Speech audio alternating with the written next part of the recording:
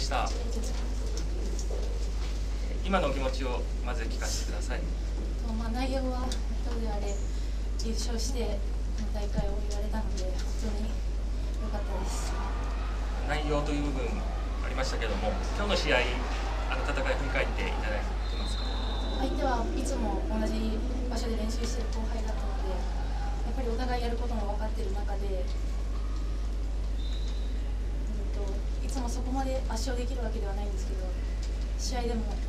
しっかり勝つことができたのでとりあえず本当に良かったです。ここで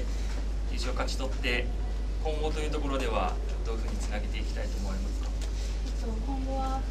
まあ、喜ぶのは今日までにして明日からは世界選手権で東京オリンピックの代表を勝ち取るっていう気持ちに切り替えて今日ダメだったところを振り返って明日からまた頑張ろうと思います昨日今日と姉妹でパワーを送り合ってるような戦いだったのかなと思うんですがそのあたりはいかがですか？本当に自分は梨紗子があっての自分で梨紗子がいるからこそ気持ちも強くマットに上がれるので本当に自分は梨紗子にすごく支えられてるなと思いました。ありがとうございます。代表以上になります。すみませんあの NHK なんですけども明日そのお姉様の決勝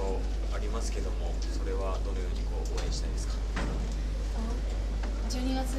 に負けてからすごい悩んだりとかいろいろいろんな問題というかいろんな気持ちになってたのを全部自分は近くで一番近くで見てて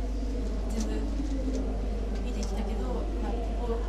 明日の試合に向けてやれることは全部やってきたので明日は自分は全力でサポートして梨紗子が勝てるようにしっかりサポートしたいと思います。どういうレスリングをしてほしいなうんとどういうレスリングというかどんな泥臭くなっても綺麗なレスリングじゃなくても最後に梨紗子の手が上がってればそれでいいと思います。ありがとうございますすみません TBS なんですけども最後そのお姉さんと会った瞬間抱き合って何か言葉交わされてたように見えたんですけどどんな言葉交わされてたんですか？で自分が良かったって言ってで梨紗子が明日頑張るねって頑張るねっていうその声を聞いてどう思いました。本当に今日自分が勝って梨紗子につなことができたので本当に良かったと思いますありがとうございます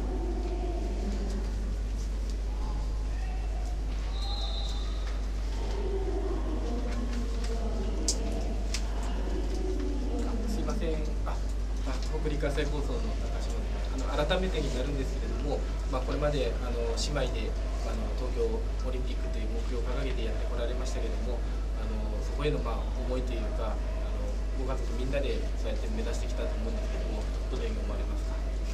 でも正直自分がここまで来れるともずっと思ってなかったしでも、えっと、今日こう来るまでに梨紗子に何回もその2人ともがレスリングをしてて2人ともがその目指せる位置に行ってしかもあの姉妹で目指せるっていうことに感謝して頑張ろうっていうふうには今まで何回も喋ってきたのでしっかりしっかり今日勝てたらい。ちょっと重なる質問になると思うんですが、まあ、明日、まあ、どんな応援でお姉さんに力を送りたいですか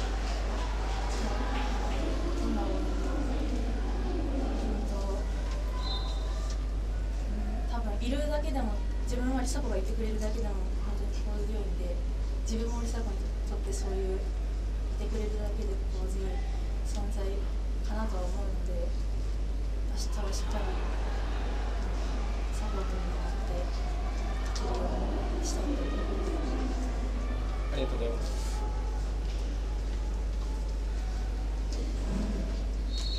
よろしいでしょうか？